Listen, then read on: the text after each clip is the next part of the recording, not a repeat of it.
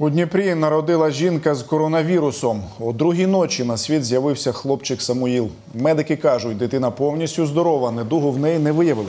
Зараз малюк поряд із мамою. Вони у стабільному стані. Нагадаю, жінку привезли до Мечникова три дні тому. Вона була на 38-му тижні вагітності. Лікарі приймали пологи за новими правилами у спеціально підготовленому корпусі та у подвійних захисних костюмах. Мальчик 3,5 килограмма, 54 сантиметра рост, здоровый. Были поначалу большие беспокойства.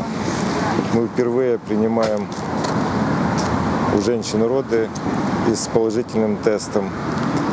Все получилось. Мамочка счастливая, дитё здоровое.